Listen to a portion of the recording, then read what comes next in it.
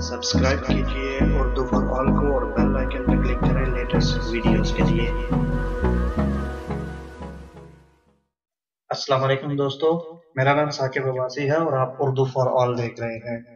دوستو، کیا آپ جانتے ہیں کہ ابلیس کی موت کب ہوگی اور کیسے ہوگی؟ اگر نہیں تو یہ ویڈیو آپ کے لیے ہے۔ فرینڈز، حضرت حنف بن کیس رضی اللہ عنہ فرماتے ہیں کہ حضرت عمر رضی اللہ عنہ سے ملاقات کے لیے ایک مرتبہ مدینہ منورہ جانا ہوا۔ ایک مجمع میں حضرت کا اخبار رضی اللہ عنہ کو تقریر کرتے ہوئے دیکھا تو میں بھی وہاں پر بیٹھ گیا۔ وہ فرما رہے تھے کہ حضرت آدم علیہ السلام نے وفات کے وقت اللہ تعالیٰ سے حرض کیا کہ یا اللہ میری موت سے میرا ازلی دشمن ابلیس بہت خوش ہوگا۔ اس کو تو قیامت تک زندہ رہنا ہے۔ جواب ملا، آدم، تم انتقال کے بعد جنت میں چلے جاؤ گے اور وہ ملہون قیامت تک دنیا میں ہی رہے گا۔ آخر میں اس کو موت آئے گی تاکہ ساری دنیا کے لوگوں کے برابر موت کی تکلیف اٹھائے۔ آدم علیہ السلام نے ملک الموت سے فرمایا کہ ابلیس کی موت کا منظر مجھے بھی کچھ بتاؤ۔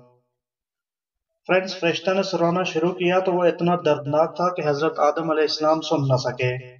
فرمایا، بس کرو، اب سننا نہیں جاتا۔ اتنا فرما کر حضرت کہب رضی اللہ عنہ خاموش ہو گئے۔ لوگوں نے کہا، حضرت، کچھ ہمارے سامنے بھی اس کی موت کا منظر بیان فرمائے پہلے تو انہوں نے انکار کیا، مگر لوگوں کے بے حد اسرار پر فرمایا، جب قیامت قریب آئے گی تو لوگ حسب عادت بازاروں میں مشغول ہوں گے۔ اچانک ایک زوردار دھماکہ ہوگا، جس سے بہت سے لوگ بے ہوش ہو جائیں گے۔ اللہ تعالیٰ ملک الموت سے فرمائیں گے، میں نے سب سے زیادہ تمہارے مددگار و معاون بنائے، اور تم کو ان سب کے برابر قوت دی۔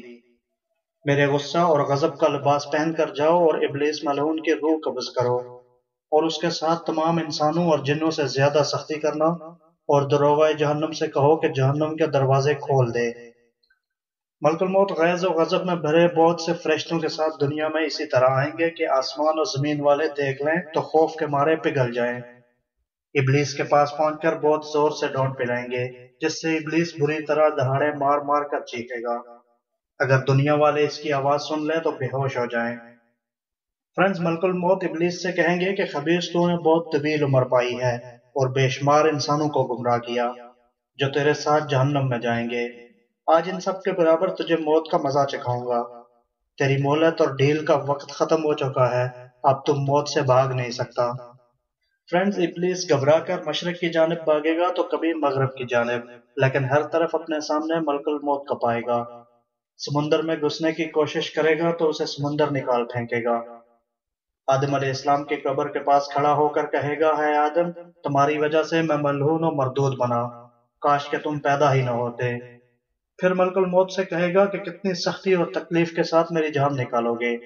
وہ فرمائیں گے، جتنے لوگ جہنم میں ہیں، ان سب کی موت سے کہیں زیادہ تکلیف اور سختی کے ساتھ. یہ سن کر تڑپنے لگے گا اور چیختا چلاتا ادھر ادھر بھاگے گا اور جہاں موت آنی ہے، وہاں گر جائے گا۔ وہ جگہ آگ کے انگارے کی طرح سرخ ہوگی اور وہاں جہنم کے کانٹوں والی کنڈیاں لگی ہوں گی۔ ان کنڈیوں سے تڑپا تڑپا کر اس کی جان نکالی جائے گی۔ آدم علیہ السلام اور حوا علیہ السلام سے کہا جائے گا، ذرا اپنے دشمن کو دیکھو، کس طرح ذلت کے ساتھ مر رہا ہے۔ وہ دیکھ کر خوش ہوں گے اور کہیں گے کہ یا اللہ، تو نے ہم پر اپنی نعمت مکمل فرما دی۔